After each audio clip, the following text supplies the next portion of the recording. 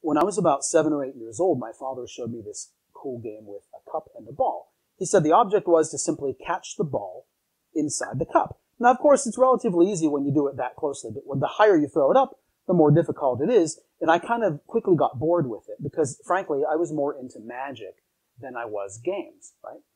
And so I thought, hey, dad, let me show you this really cool trick with this cup and ball.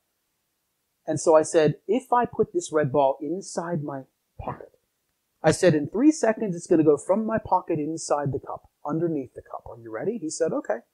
One, two, three. Thank you very much.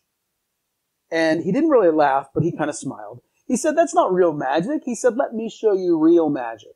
He said, keep your eyes on this ball because if I leave it inside the pocket, he said, in three seconds, I'm going to make it really go invisibly through the air from my pocket to under the cup. I said, no way. He said, yes way. One, two, three. He did it. I couldn't believe it. I said, that's impossible. He said, no, it's not. I said, well, do it again. He said, okay, I'll do it again. Keep your eyes on the ball. It's going to go deep inside my pocket. He said, keep your eyes on the cup. One, two, three. Sure enough, he did it again. I absolutely couldn't believe this. I said, Dad, can you do it again? He said, sure, I'll do it again. He said, you're not supposed to repeat tricks because you might figure it out. I said, that's okay. Let me see. So he placed the ball deep inside his pocket.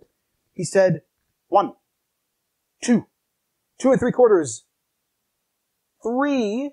He said, wait, there's been a problem. The ball couldn't cleanly go from the pocket to under the cup. I said, why? He said, because the big yellow ball was in the way.